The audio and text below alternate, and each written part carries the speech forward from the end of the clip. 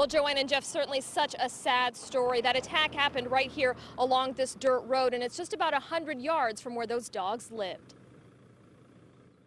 Lapeer County 911, what is your emergency? I'm being attacked by a couple of dogs.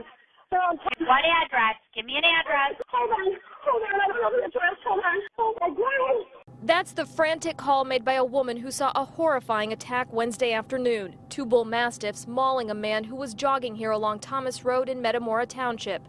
A neighbor fired his gun to get the dogs off the man. A bullet hit one of the dogs. Okay, where are the dogs? The dogs look like they ran off into some wood somewhere. The victim, 46-year-old Craig Sytsma, who worked nearby at Eltro Services, was left severely wounded. Strangers were doing everything they could to help the father of three. Is anybody helping the guy that's hurt? Yes.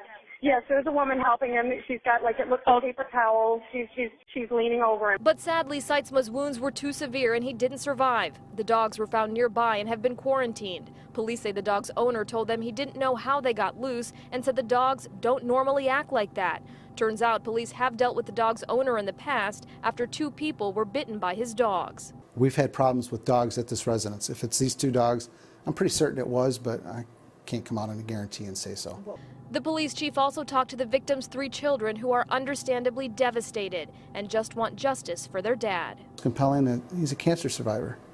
Uh, colon cancer last year, and you know, he was just getting back, getting his strength back, and you know, he's exercising obviously and doing what he felt was the right thing for his mind and body, and and, and this happens.